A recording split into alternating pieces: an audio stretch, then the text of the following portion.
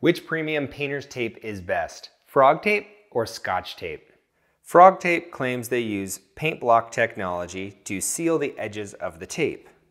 Scotch uses edge lock technology to seal out paint. These claims sound the same. How are they going to perform the same?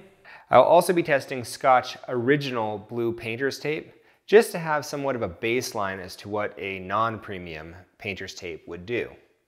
Here on the test bench, I have a painted sheet of drywall and I've applied three different lines of the three different tapes. I'm gonna do the same over here. This side's gonna receive a heavier saturation of paint and this side will receive a lighter saturation.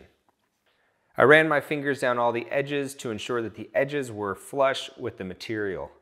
All three tapes use medium adhesive. The Scotch Original has a 14-day safe removal, while the Sharp Lines and Frog Tape have 21-day safe removal. So far there has just been one kind of thick coat. I'm gonna go ahead and remove the tape from this side. Right off, looking at these lines, the Frog Tape has a straighter, more consistent line. We have a couple pickups, uh, some blurry edges here, in the sharp lines. And over here on the original, we have a few more little bumps. It's the next day and I'm gonna go ahead and apply a second coat to the heavy side. I've let the second coat dry for about 30 minutes, so I'm gonna go ahead and remove the tape now. In terms of ranking, Original is the worst, Sharp Lines is the middle, and Frog Tape is the best. This line on the Frog Tape is perfectly straight. This line has a couple encroachings, and that may be because when I use the roller, I kind of pushed this direction.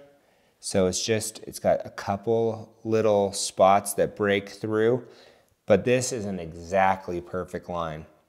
We've got spots coming through on both sides of the sharp lines and both sides of the original.